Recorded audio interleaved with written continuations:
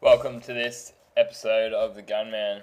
In this video, I'll be taking you through the prep work and also the paint work on this Chrysler Jeep CRD four-wheel drive. So it's painted in deep cherry red crystal metallic, that's the colour name, and the colour code is JRP. So I decided for this video I'd do prep work and masking and paint work all in the one video. So I've sped most of it up to double speed and I'll take you through the steps. So first up I was getting the double-sided tape or the glue off from behind the uh, where the body molds were because we pulled them body molds off and next up I'll start buzzing down this uh, this fender sanding down the fender and then giving it a quick Scotch Brite around the edges. I was using 400 grit there and next up I just decided to use a bit of 1k primer over this uh, fender this time. So we just spray just a quick coat over that and then while that's drying, it won't take too long to dry, about 10-15 minutes, I'll start sanding the rest of the car down, which is just we're doing a bumper bar and a blend on this driver's side front door. So what I'm using here is a 600 grit after giving the panel a really good clean down just with a bit of water and a damp cloth and then drying it off. So then I've got some grey Scotch Brite and going over all the shiny areas with the grey Scotch Brite because if you paint over shiny paint, well the, the new paint's not going to stick. So uh, after that's done, I've then grabbed a piece of 800 on the softback sanding sponge and I'm going over and taking that 600 grit, which is a touch too coarse to paint over. You can do it, but sometimes you'll see the scratches, and then I'm going over that with the 800, so it's nicer to, to clear over and to put your base coat over than 600. So keeping it clean at all times, using the air duster gun in between each stage. So you do one one step and then you blow it off, and then do another step and then blow it off. So this is just a quick look at the colour. It turned out that I did do one slight adjustment to it. It was a touch dark, and then I just put a touch more of the pearl in it. Uh, this colour is pretty much full of red pearl.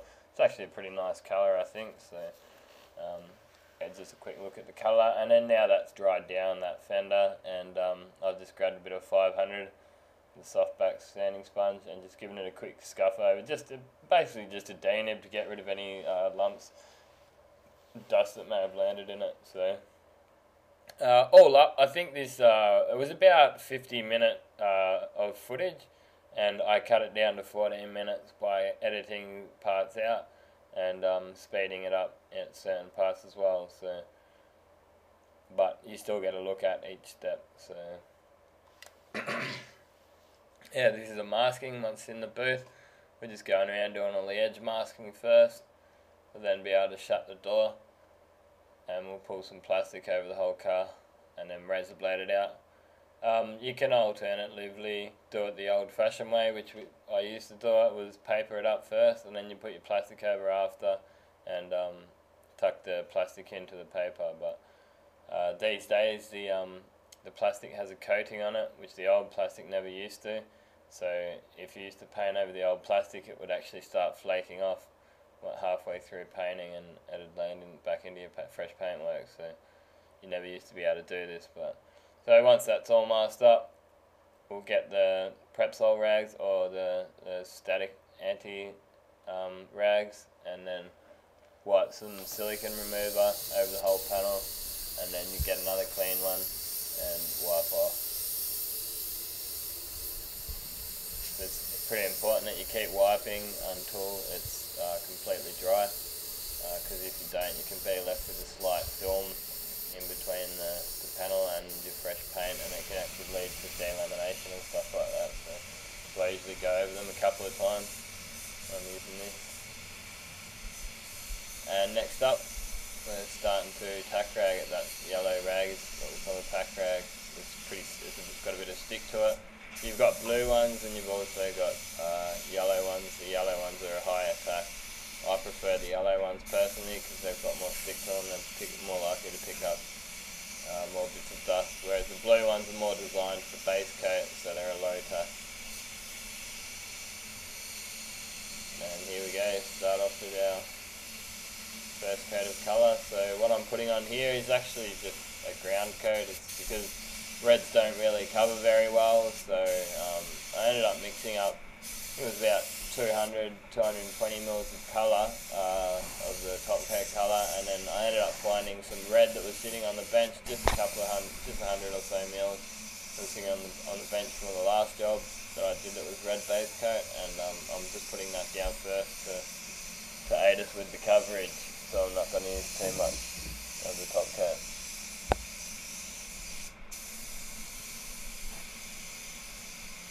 just putting it on nice and wet just to get the coverage because reds are pretty well known not to cover up very well.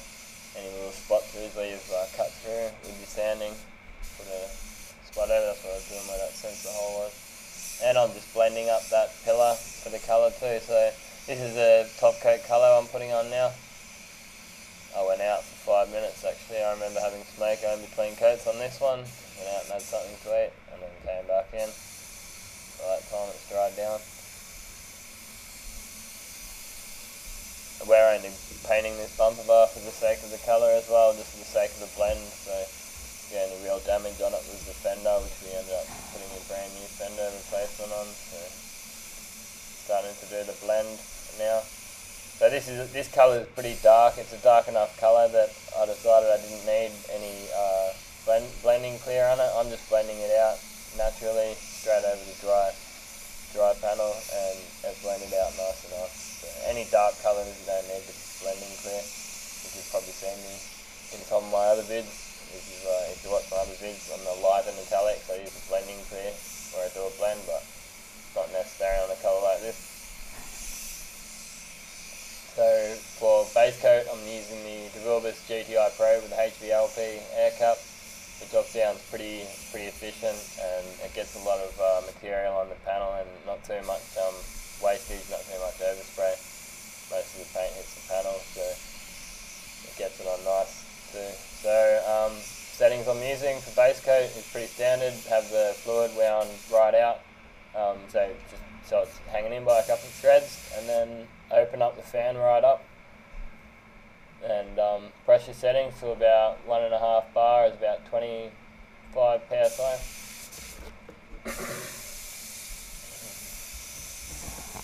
and this is our blend coat, our final blend coat over the door. Blend over that um, bumper bar as well. So you notice this uh, final coat of base coat is a bit uh, a bit drier than the other coats, so we get the correct uh, metallic standing up. And now we go on with our clear coat. So this is actually my pretty pretty new gun, this one that I'm using here, and um, yeah, there's a little bit of clear because uh, I because I've heated the clear up. I mixed the clear up to start off with, and then um, put it in the booth. A little bit of clear dribbled up the top there, that's no big deal. So yeah, my new gun. I'm still uh, actually uh, experimenting with it, but I've got the HV20.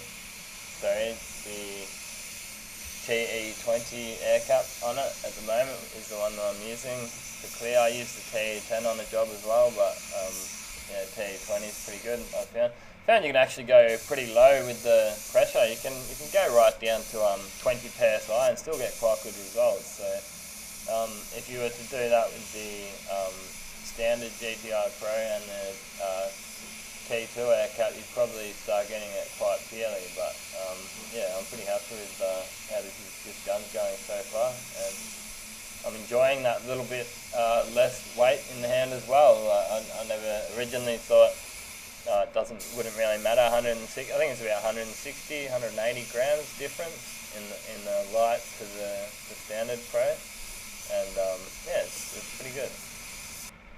So the pressure in this spray booth jumps up and goes down. And, is, uh, it's an old old school compressor and uh, it's, it's a great good compressor. It does the job, but when there's um, so many people outside working, it'll um, go up and then come back down. So I've got a. That's, if you ever see me adjusting my pressure, that's the reason why. And if you're doing some uh, home jobs as well, the same thing's most likely going to happen if you're doing if you've just got a little small compressor then and you want to paint uh, a whole side on a car, you'll probably be finding you get two panels done and then you'll have to wait for a minute, wait for the compressor to build back up.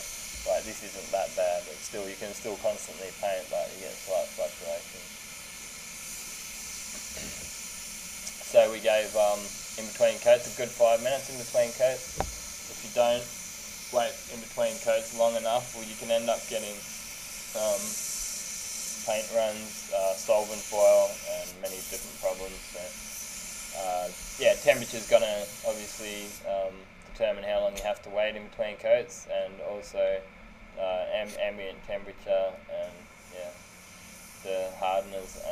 the clear, and the products that you're using are also going to play a factor in your drying times.